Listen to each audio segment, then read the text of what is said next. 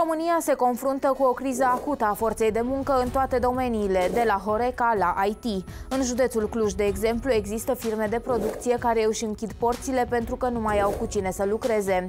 Sau refuză comenzi venite de peste hotare tot din cauza lipsei forței de muncă.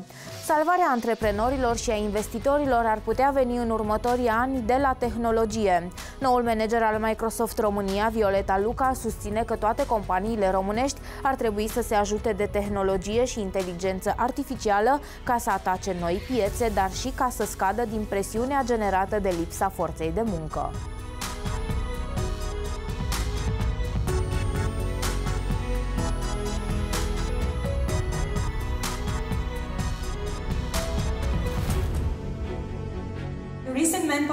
Cred că în fiecare zi vorbesc cu cineva despre criza de forță de muncă. Un studiu recent al companiei Manpower arată că 80% dintre companiile din România se confruntă cu această provocare. Cred că problema forței de muncă a devenit pentru comunitatea de business o provocare și mai mare decât taxele.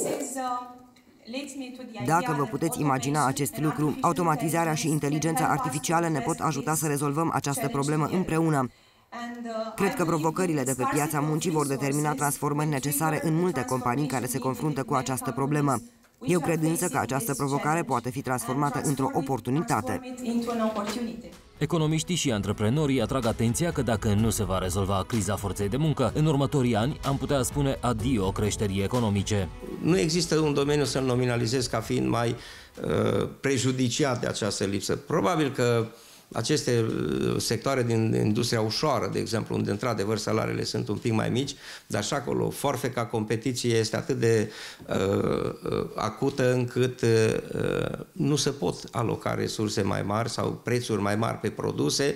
Productivitatea la noi este încă mult față de redusă, mai mică decât uh, în celelalte țări europene, de exemplu, și din cauza asta, practic, nu mai suntem competitivi, deci, practic, vom intra uh, Sper să n-am dreptate, dar acum cred că de 10 ani spun că trebuie să ne îndreptăm fața către forța de muncă a României, pentru că vom ajunge în situația în care uh, va fi atât de acută criza forței de muncă încât va lovi în uh, creșterea economică a României. Datele Institutului Național de Statistică arată că cea mai mare cerere de forță de muncă e în București, urmată îndeaproape de Cluj-Napoca, Timișoara, Brașov, Ploiești și Constanța.